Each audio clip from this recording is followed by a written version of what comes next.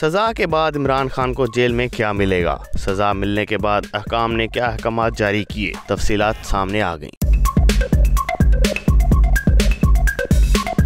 निजी टीवी के मुताबिक साफर केस में सबक वज़ीर आज़म इमरान खान और शाह महमूद कुरेशी को दस दस साल की कैद सजा सुनाई गई। फैसला आने के फ़ौरन बाद अडियाला जेल इंतजामिया ने भी फुर्तियाँ दिखा दी। दोनों कैदियों को लिबास भी फ़ौरन अलाट कर दिए गए। निजी टीवी के मुताबिक दोनों कैदियों को दो दो लिबास अलॉट कर दिए गए हैं। ये एक लिबास मैला होने पर दूसरा इस्तेमाल कर सकेंगे। मैला लिबास धुलने के लिए चला जाएगा। इससे पहले एक और चैनल ने दावा किया था, अडियाला जेल में आठ कैमरे इमरान खान के जेर इस्तेमाल थे। जेल में वॉक के लिए बीस फीट का सेन भी दिया गया था। इमरान खान को टीवी की सहूलियात भी मौजूद थी, जबकि वर्जिश के लिए साइकिल भी दी गई थी और खाना पकाने के लिए बावर्ची भी दिया गया था। इलाज के लिए नौ डॉक्टर्स भी ड्यूटी पर मौजूद थे।